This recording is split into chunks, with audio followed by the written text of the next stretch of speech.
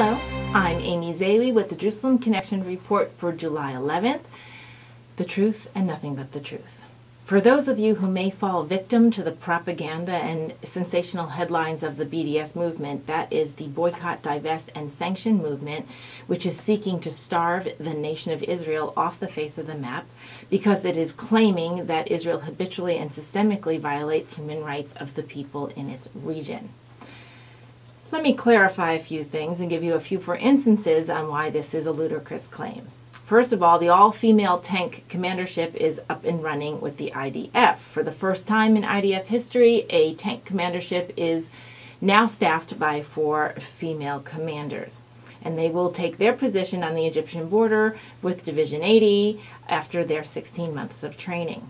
As well, the Israeli police force recently graduated 17 Arab women as officers in their ranks. This gives Arab women a noble profession, a livelihood, a sense of contribution to their own community, and a sense of personal power that the surrounding nations in the Middle East would never offer a female.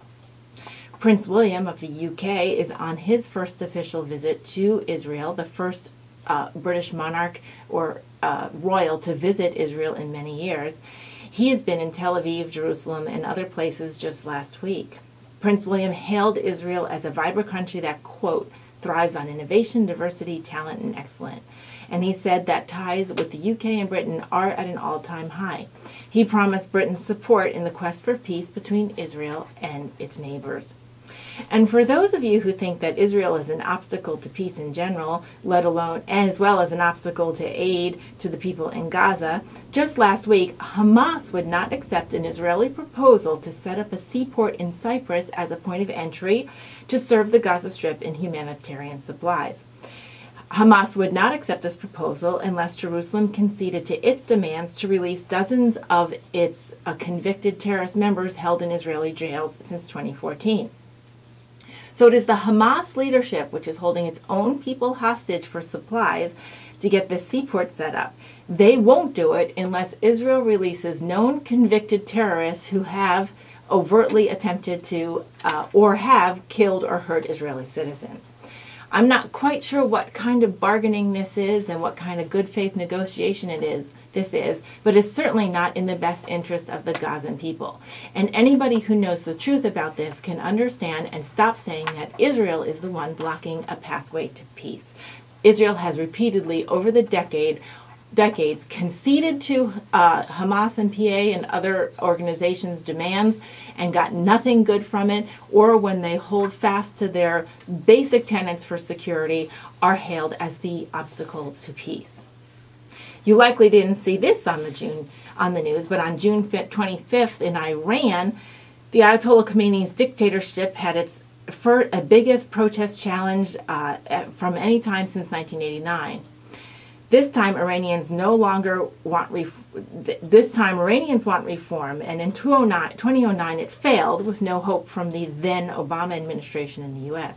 This time, they don't want reform, they want regime change. Crowds, mostly consisting of people under 35 years old, were chanting death to Palestine.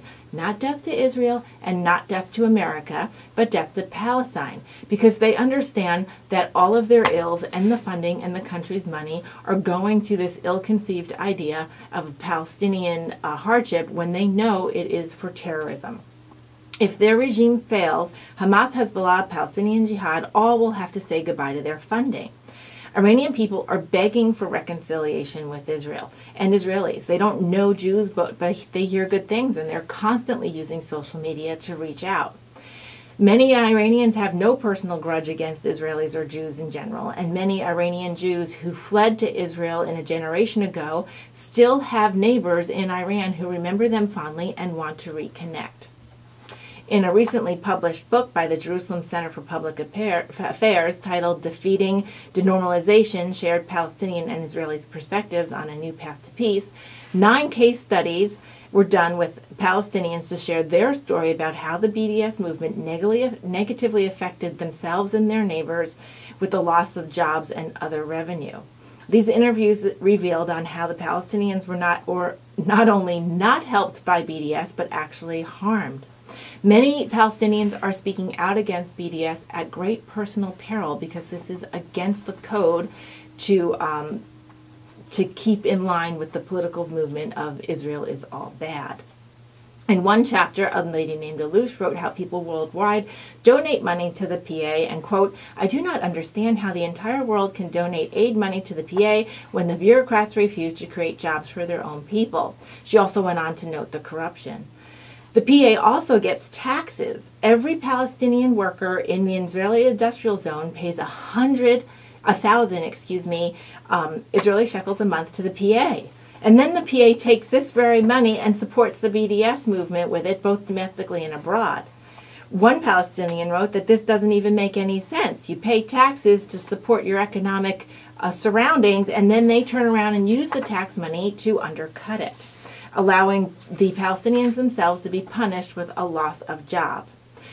Many Palestinians are not sure if the BDS activists really understand the ramifications of their actions or if they're doing it on purpose.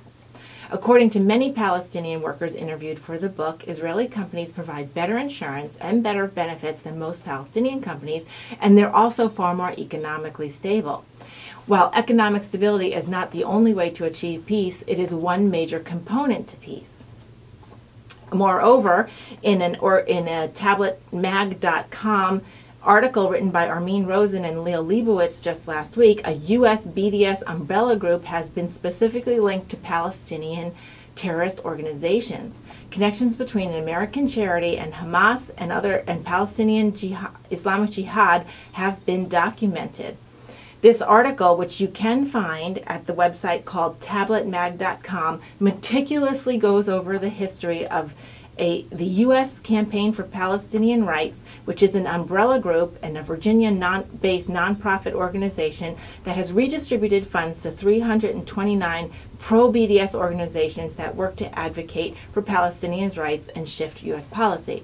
However, in the recent weeks and months of my reports, you will know that BDS activities are generally anti Semitic, and like I've always said, the money is also funding not just a BDS movement, a PR campaign to choke off Israel, but actual violent terrorist campaigns seeking to remove Israel from the map.